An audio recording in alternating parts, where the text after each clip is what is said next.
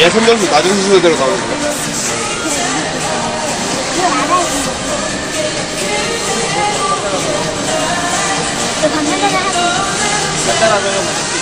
잠깐만요.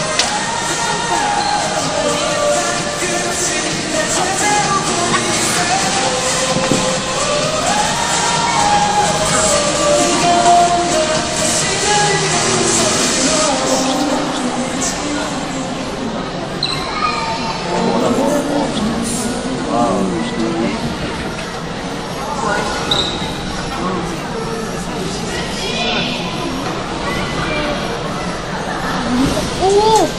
오, 어, 지금 플러스 아하.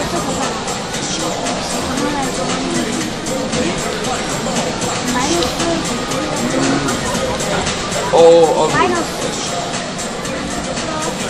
아,